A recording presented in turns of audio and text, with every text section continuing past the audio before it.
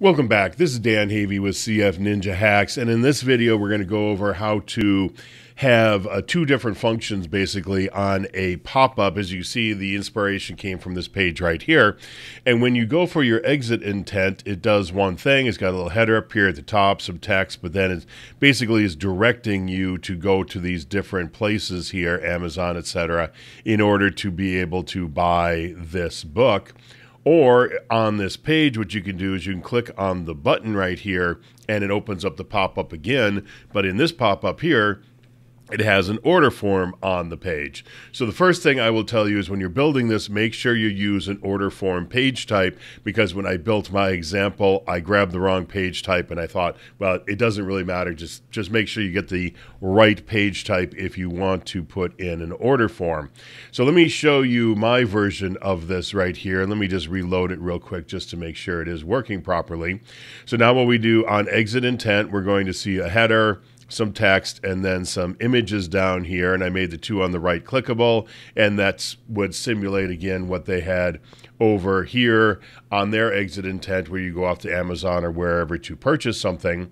But then if we kill this here we can then also click on our button and that gives us a totally different content inside of our pop-up at that time so how we have to build this is actually pretty simple.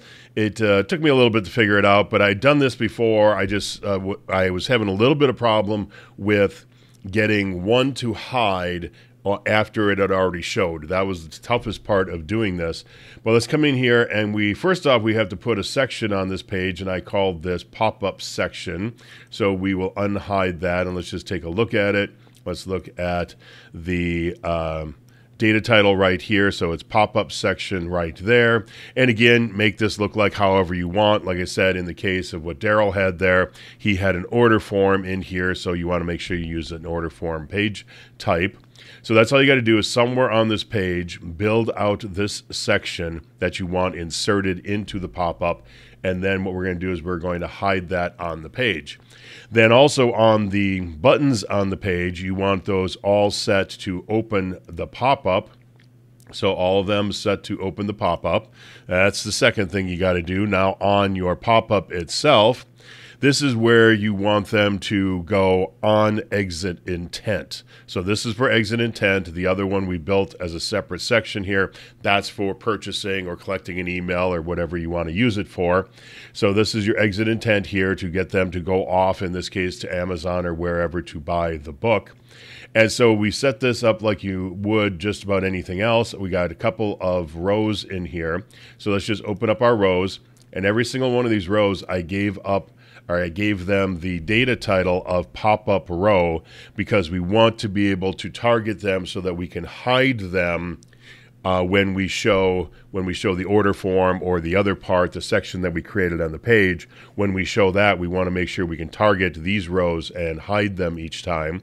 And so all three of these rows in here are named exactly the same thing on the data title. And if we go to our settings, you can make this thing any size you want. You can change your backdrop colors, you know, all that stuff, style it however you want.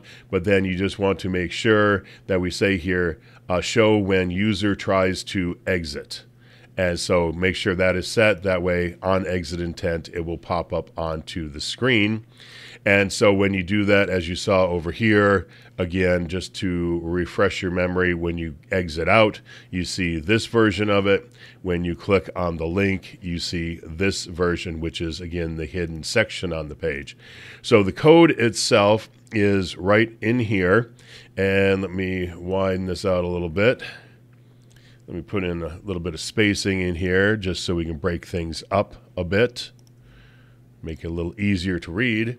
And so what we're saying here is that pop-up section that we built down at the bottom, all we're saying is insert this after the container modal container inner and then hide it. So when the page loads, we want to take that section that was down here and we want to put it into the uh, container modal itself. So let me show you what that looks like. Let me just open this up and we will inspect this page. And we will come in here and let me just click here. So here we got our container modal. So let me see what we said again here. Container modal, container inner. So we're going to insert it after that. So we have here, here is our container modal is right up here at the top. This is our container modal. Here's our container inner. And then right here is where that section gets put in there. So here it is right there, pop-up section. So all we're doing is we're just saying insert this section after this existing container inner element. So it just gets put in there and it will stay in there the whole time. Then we just have to say, do we want to hide it or show it? And in this case here, we said to hide it at first.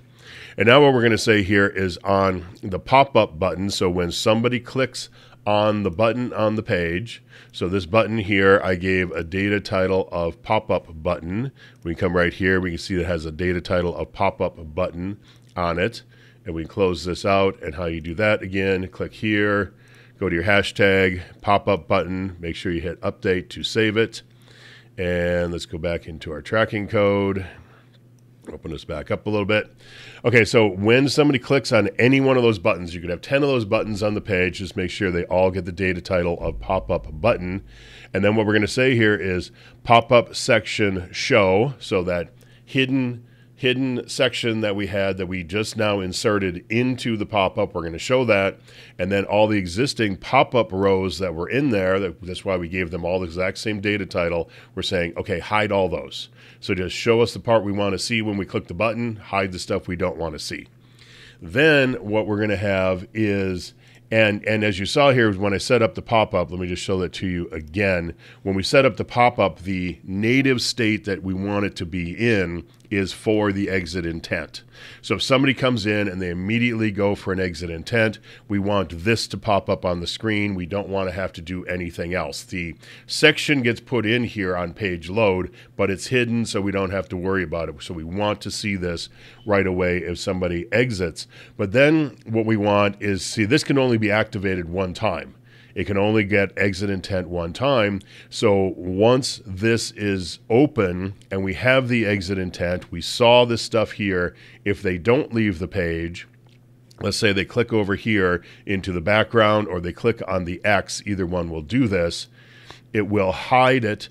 And what it'll do then is the next time this thing pops up, it will show the pop-up section. And so that's exactly what it says here is once somebody clicks either the X or the background, what we want to do is we want to show the, um, we want to, let me see here. Okay, what I was saying was correct, but I had to pause there for a second because I was kind of saying it backwards. Because you can only exit one time, and we want it to show them, of course, the pop up rows when they exit. But in this case here, what the second bit of code does is it says if they came in and they clicked on the button, they clicked on the button first all of this would be showing in here. So the pop-up section would be showing inside of the pop-up and the pop-up rows would be hidden. And so what we're saying here then is if somebody then clicks outside of that and closes it after having clicked on the pop-up button, then we want that to switch that. We want it to show the pop-up section and we want it to, oh, sorry, we want it to hide the pop-up section and we want it to show the pop-up row because the next thing after somebody clicks on the button, they can do one of two things. They can either exit or they can click the button again.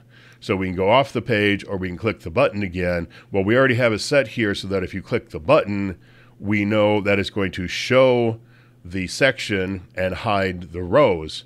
We want it set back to its original state, and that's what this does here. This sets it back to its original state in case it had been changed by clicking on here. This sets it back to the original so that upon exit intent, then we will still see exactly what we want to be seeing on the page. So I hope that wasn't too confusing, but you can see in the code here exactly what to do. Just make sure you name your, your elements with the proper data titles. Copy out this code. I will make it a little bit wider again here for you to see because it says hide here at the end. And that's it. Just copy that, set up all of your elements, and you should be ready to go. So if you got any questions, just let me know.